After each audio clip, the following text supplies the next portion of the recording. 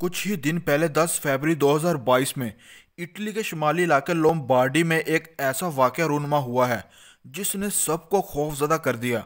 कोमो jail के पास वाक़ एक घर से दो साल पुरानी एक खतून की लाश मिली है।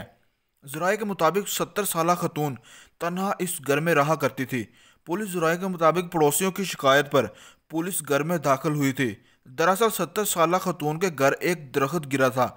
इसी वजह से पुलिस को इतला दी गई थी। लेकिन जब पुलिस घर में दाखिल हुई तो आसपास कोई भी मौजूद नहीं था। जैसे ही पुलिस घर में दाखिल हुई तो देखकर हैरान रह गई कि सत्तर साल खतून कुर्सी पर बैठी है और जिसम खराब हो चुका है। पुलिस का कहना है कि इब्तदाई मेडिकल रिपोर्ट के मुताबिक, खतून की लाश दो साल पुरानी है।